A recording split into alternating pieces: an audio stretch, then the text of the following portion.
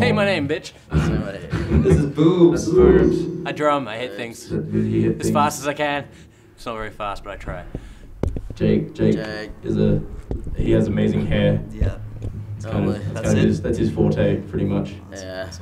Looks good. I got keys and hit buttons and make lots of noise and Steve provides glorious four-part vocal harmonies Yeah. By myself. by yourself. And my Judo's name is Steve. Um, and I'm, I meant to say my name. I'm, I'm Dom and I'm a low-end operator.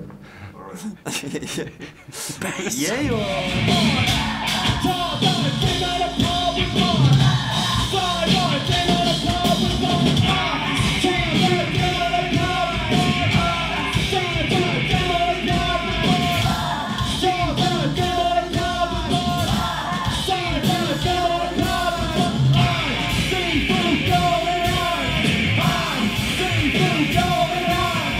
How would you describe your sound to someone who had never had the pleasure of hearing?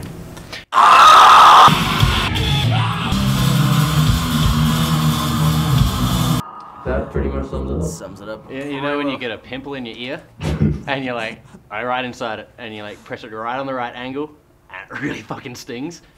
Some of it's like that, and get then the moment when you your pop ear? it and it goes, and you can kind of feel it reverberating through your skull. That's the that's the good bits.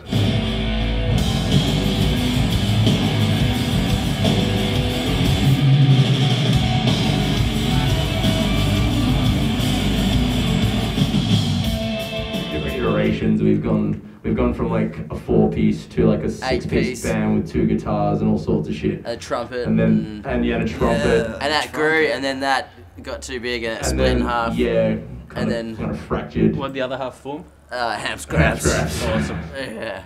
What And then And then and then yeah. and then it was the just remaining- me, Dom, and Steve for a while. It was just the digital beats. But then that got boring, and we are like, we need a drummer. And then then that was the bornage of the new Ninja. Yeah.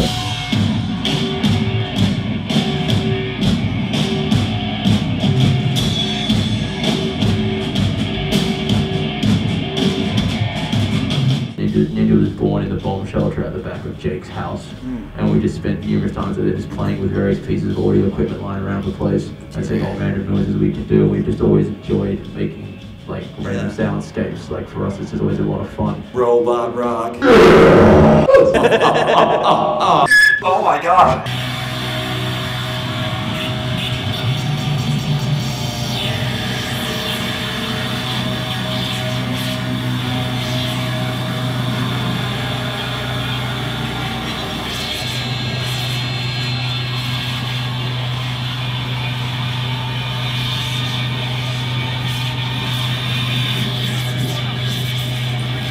Getting some airplay on radio, so it can't be that bad, I guess. Uh, yeah.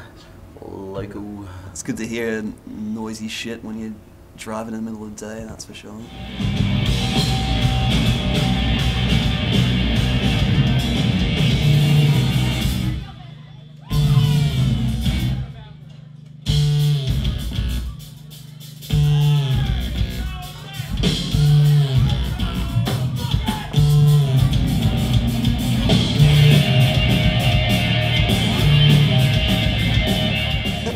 About two and a half weeks. Got about, I think it's like six shows in the Osaka region, Kansai region, and then four in Tokyo.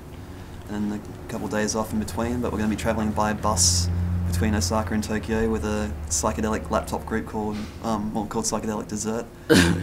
to Japanese hippies. Yeah, he's freaking awesome. I think everyone dreams of getting to travel the world to do something they love to do. Yeah, I, I think that's kind of like a basic requirement of just being human. I don't know, and we always wanted. I, I mean, no, Uh, no, we're gonna- It's on the list of goals is to play our own music in a different country and technically tour Right. internationally. It's not quite in the way most people do it. It's a sort of independent thing, but um, a lot of we're inspired heavily by Japanese art culture and definitely music. Lots of bands from Japan have influenced our sound, and we had a lot of friends up there and an opportunity to tour, so we decided to do it. Mm.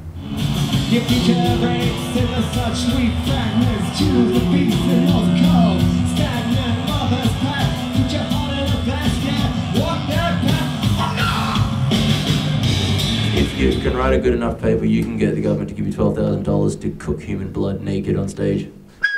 I'm not shitting you.